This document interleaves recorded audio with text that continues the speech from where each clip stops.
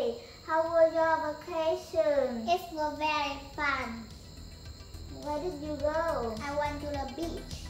Who did you go with? I went with my father, mother, and older sister. Did you have a house at the beach? No, we stayed at the hotel. Oh, which hotel did you stay at? It's called the Imperial. Have you stayed there before? Been going there for years. It must be very nice. Yes, it's very nice and not too expensive. Did you play in the water? Yes, I went swimming and I rode the banana boat. How about your older sister? She did not like the water. She liked to sit on the beach and read a book.